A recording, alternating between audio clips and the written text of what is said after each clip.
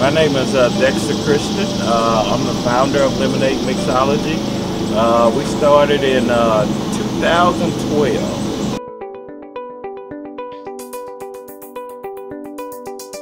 So Lemonade Mixology basically is just a concept that I saw on YouTube.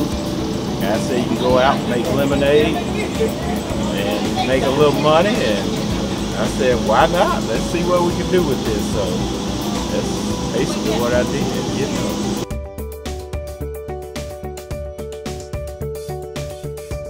Uh, yeah, this is definitely one of the ways to grow the business. You know, I always look for different opportunities, different events, and different, you know, you always look at it and see whether something might work with you or might not. And I've always, you know, we're always trying out something new.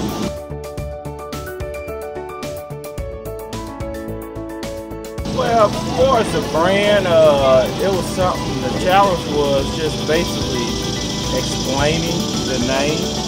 A lot of people get us, when they see the mixology, they think of alcohol, but actually the mixology is the opportunity to mix all the flavors up together create your own unique uh, lemonade beverage. So everything is pulled from the real fruit, real herbs, so you get the, the best lemonade experience that you're going to have, really.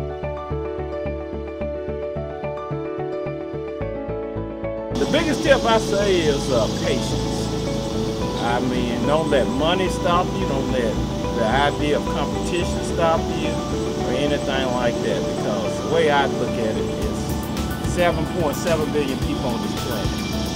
I can't feed all of them. McDonald's can't feed all of them. So it's enough uh, for everybody. So if you just find something that you like, have fun with it, keep it fun. That's that's another thing. Keep it fun. Don't accept every little thing that come your way, and next thing you know, something that might not work there, and then you have a couple of low, uh, you know, you know, down in the valleys, you know, and then you might want to give up. But you know, just take it and enjoy it, and, and then eventually, you know, as time goes by, you're gonna create more customers and build more relationships just going to get better over time.